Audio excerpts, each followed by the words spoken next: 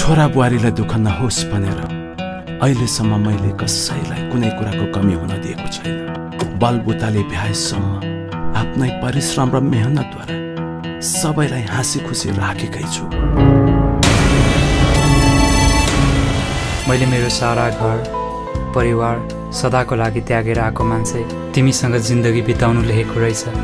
I love you Rashmi thank you so much अभि अब सुरु हुन्छ तिम्रो र मेरो नयाँ जिन्दगी आज भोलि म यता उता एक्लै डोलाइरहन्छु कता कता म आफैसँग किन हराइरहन्छु भन्छु तँलाई पतिदेव अहिले भेट्लास् नि चप्पलले तिम्रो लागि भएर त म यहाँ छु नि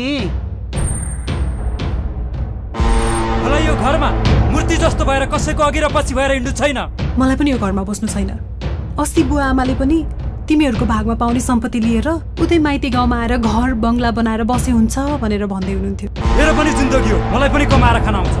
होइन तिमी कस्तो सम्मत नै नभएको स्त्री जस्तो कुरा गर्छौ हँ? वृद्ध भएको बुवालाई छोडेर जाने। यो त हुनै सक्दैन। तिमी नै रुँगेर बस्छ न त्यति बुढालाई। तिम्रा सबै सपनाहरू पुरा गरे तर छोराहरूलाई मैले सँगसँगै राख्न सकिनँ। मलाई माफ गर प्रिय।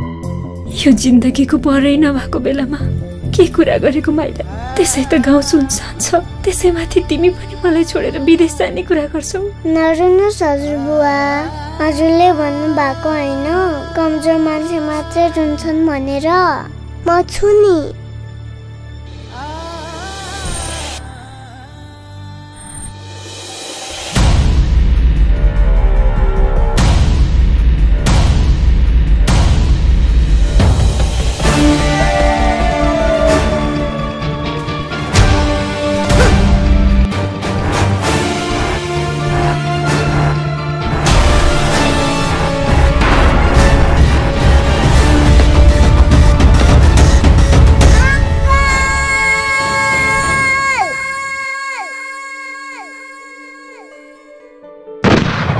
संसारमा बदला लिनेहरू कहिले पनि विजय भएका छैनन्। छन् त केवल क्षमा दिनेहरू।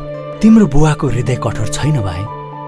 उहाँलाई परमेश्वरले कोमल अनि नम्र हृदय दिनुभएको छ। किनभने उहाँले प्रभु येसुलाई प्रभु र मुक्तिदाता भनेर विश्वास गर्नुभएको छ। उहाँले तिम्रा सबै अपराधहरू क्षमा गर्नुहुन्छ भाइ। त्यसकारणले दोमनको नहो